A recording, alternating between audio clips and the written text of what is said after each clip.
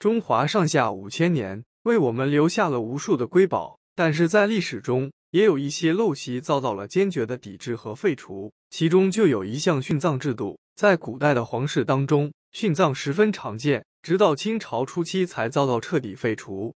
殉葬是十分残忍的，那些殉葬的妃子大部分还处在二八年华，就要接受死亡的命运。那么他们在去世前是直接活埋，还是处死之后才会陪葬？根据记载，殉葬制度早在部落时期就已经出现。那时的大家对世界的了解并不多，占据领导地位的宗教也不是道教、佛教等宗教，而是巫教，这奠定了殉葬的基础。巫教所讲究的是交换，通过活人的生命来获得神的力量，所以那时不仅有殉葬，还有大量的祭祀活动。为了保证仪式的顺利进行，所有祭祀的人和殉葬的人全部在现场杀死，甚至还会利用他们的血做一些仪式。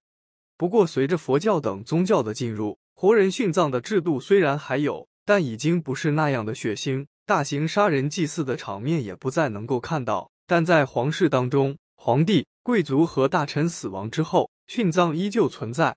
根据目前的考古挖掘来看，春秋战国是殉葬的鼎盛时期，因为那时还有奴隶制度的存在，所以当一个贵族去世的时候，他们的奴隶、婢女和家眷等都需要殉葬，有时殉葬人数高达百人。挖掘的时候十分壮观，而到了汉朝以后，奴隶制度的废除，加上道教无为而治理念的推广，殉葬人数大大降低，殉葬也只在皇室当中存在，殉葬的人也都是妃子和婢女。在唐朝以后，殉葬已经很少出现，不过依旧有三个十分典型的代表人物，分别是朱元璋、成吉思汗和努尔哈赤。其中，朱元璋的殉葬有很多政治因素在内，非其本人的想法。但成吉思汗和努尔哈赤则完全不同，两者皆是草原民族。草原民族并不信奉中原宗教，而是信仰草原神明长生天。他们坚信轮回，所以在死亡后会有大量的人员殉葬。那么，古代妃嫔在殉葬时是直接将他们活埋，还是先杀死后才下葬呢？抛开个人情感来说，古代大部分的妃嫔在殉葬时都是先杀死，然后再殉葬的。一方面活埋过于不人道，很少有人可以接受；而另一方面，提前杀死可以保证他们死亡时的状态，让他们以美好的一面入葬。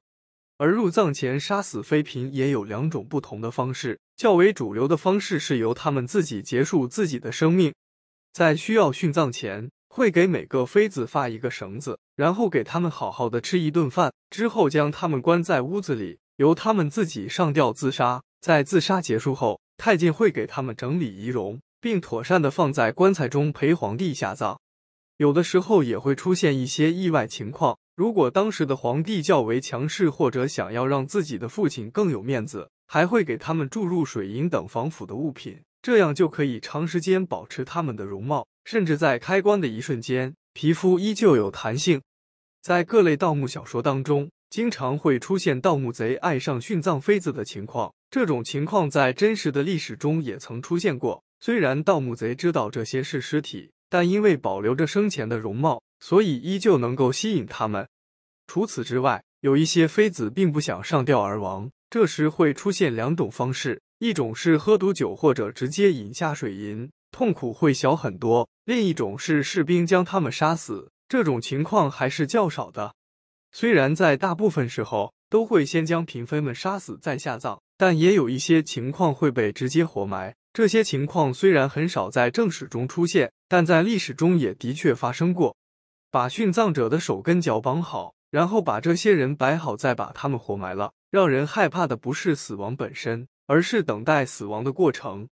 在《盗墓笔记》当中，曾有过多次记载活人殉葬的故事，例如西夏皇室。会将妃嫔甚至一些工匠直接关在坟墓当中，等坟墓中的空气渐渐稀少，他们会被活活闷死。而在一些古墓当中，并没有被放入棺木当中的尸体，大概率也是被直接活埋的。如果说这本小说的记载不能当作正史，那么在正式的历史记录中，也有过大量的活人殉葬的记录。这就是辽国。虽然殉葬制度可谓源远流长，但是在辽国以前。殉葬的人都会在下葬前被杀死，但是辽国却不愿意浪费时间。在辽国的很多皇室墓葬中，就有大量的零散尸骨，这明显是活人进入墓中，因为缺氧而死。根据民间传说，那时的皇帝去世后，会用一个老虎将妃嫔甚至很多平民赶进墓中，等待他们的死亡。古代的那些皇帝用活人陪葬，这个人能在墓穴活多长时间，我们也没办法知道到底能活多久。可是古人也知道等死很难受，一般情况下陪葬的人都会立刻死。毕竟是陪葬品，他们的下场就只有死了。对于那些在殉葬之前还没有死的人，下葬的时候墓里会有墓道，在墓里会有专人把殉葬的人带到墓道里，然后把他们杀死，要么安排好机关，只要把墓室的门关闭，就会把里面殉葬的人全都杀死。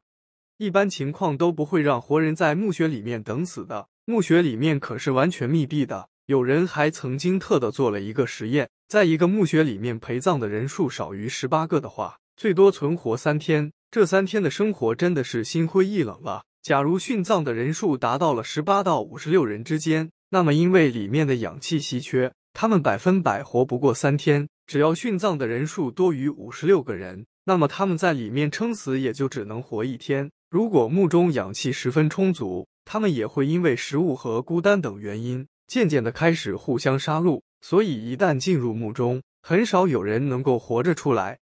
不过，活人殉葬的另外一种可能，并不是殉葬，而是陪葬。换句话说，这意味着这些妃嫔是被直接埋进去的，不考虑他们的仪态，只是想让他们死。出现这种情况，是因为出现了王朝更替。